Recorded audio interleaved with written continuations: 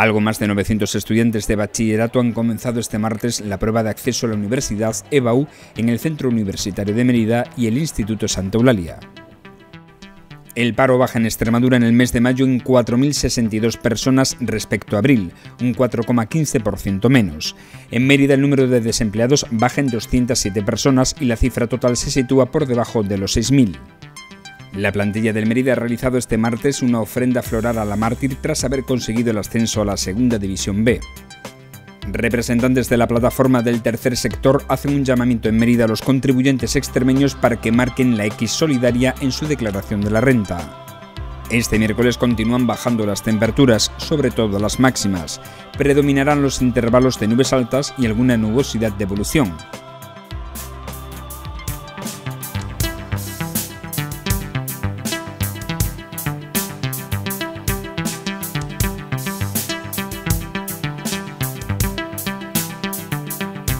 El paro registrado en las oficinas de los servicios públicos de empleo en Extremadura ha descendido en el mes de mayo en 4.062 personas, lo que supone una bajada del 4,15% con respecto al mes anterior, por lo que la cifra total de desempleados en la región se sitúa en 93.843.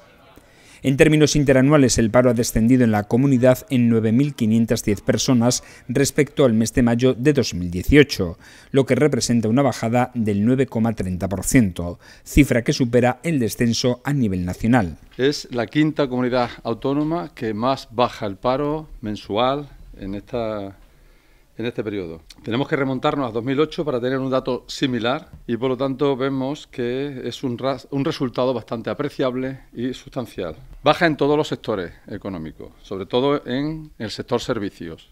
El 60% del total de esta bajada se acumula en este sector servicios, en comercio, hostelería y administración pública, algunos datos, por ejemplo, en comercio 758 personas menos, en hostelería 443 personas menos, y Administración Pública 363 personas menos, 500 menos en la construcción, 734 menos en agricultura y 322 menos en la industria. También ha bajado, cosa que no ocurría en casi ningún mes, en los de sin empleo anterior, que ha bajado en 12 personas no era lo normal, generalmente no suelen bajar lo de sin empleo anterior en este mes. Por provincias el paro ha bajado porcentualmente más en la de Cáceres que en la de Badajoz, mientras que si comparamos la cifra con la del mismo mes del año pasado, es en la de Badajoz en la que más desciende.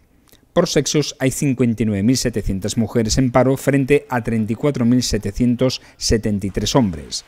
Cabe destacar que la cifra de parados de larga duración también ha descendido en un porcentaje importante. El paro de larga duración también evoluciona favorablemente.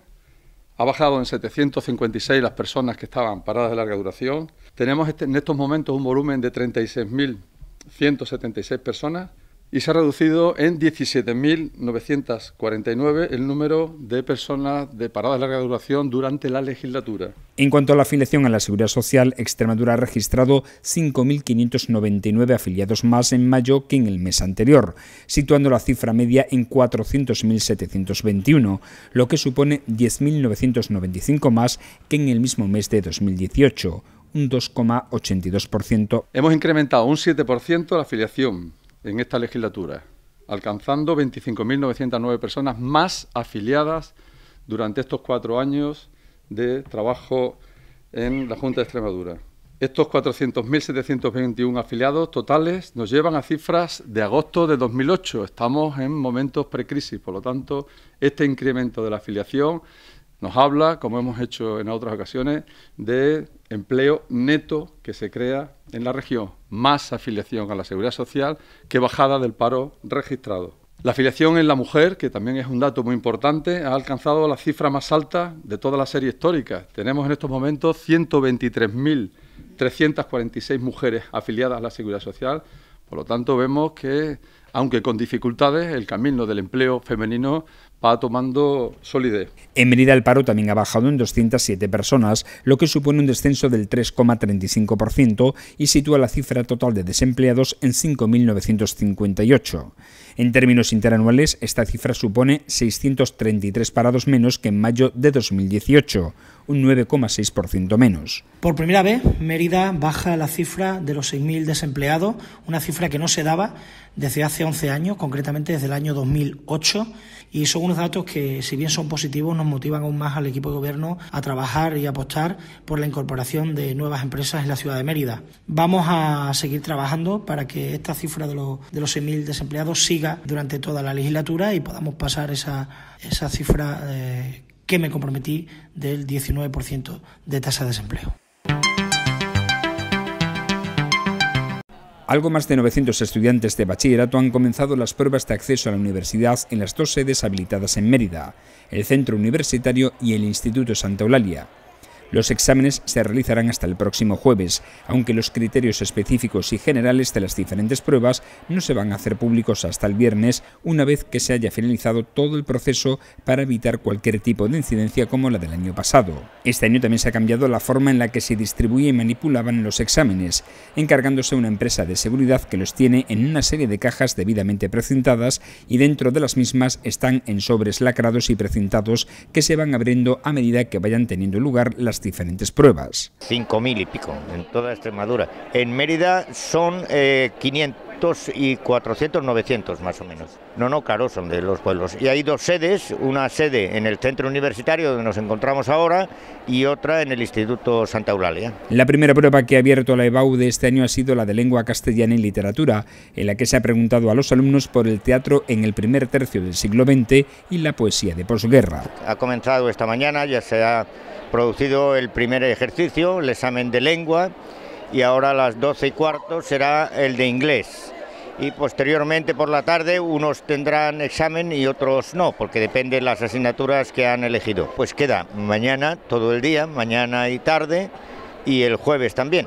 El jueves es cuando, si hay dos asignaturas que coinciden por la opción, es cuando se produce por la tarde el examen que se llama de coincidencias. En principio, pues los nervios del comienzo, pero creo que el examen ha sido fácil y casi todos están contentos. Por lo menos los alumnos de mi instituto que acabo de verlos estaban satisfechos. La plantilla del Mérida ha realizado en la mañana de este martes una ofrenda floral a la mártir tras haber conseguido el ascenso a la segunda división B el pasado domingo en el Estadio Romano. El presidente de la Asociación Virgen y Mártir Santa Eulalia, Luis Miguel González, ha regalado a cada jugador una pulsera de la patrona meritense. Ya somos casi 11 millones de personas marcando la casilla actividades de interés. Representantes de la plataforma del tercer sector han hecho un llamamiento este martes en Mérida a los 200.000 contribuyentes extremeños que todavía no marcan la X solidaria en su declaración de la renta.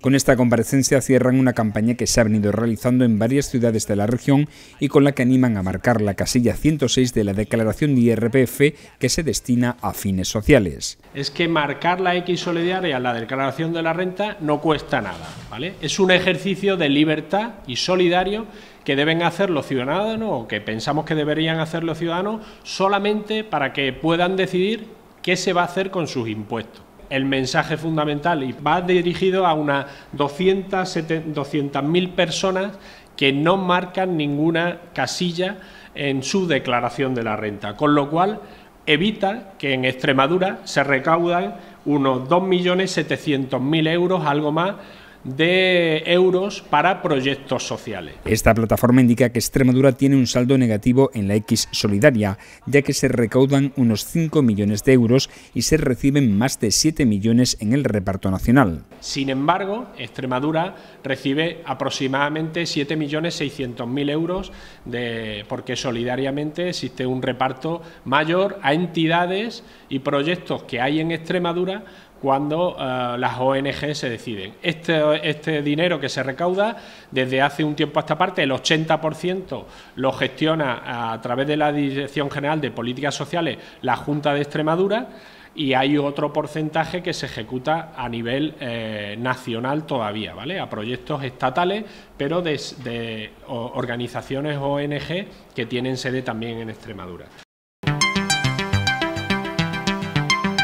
La Agencia Estatal de Meteorología prevé para este miércoles intervalos de nubes altas y alguna nubosidad de evolución. Las temperaturas experimentarán un descenso, más notable en el caso de las máximas, por lo que los termómetros marcarán una mínima de 10 grados durante la madrugada y durante el día alcanzarán 26 grados en Mérida y 23 grados en Almendralejo. Los vientos soplarán del oeste o noroeste.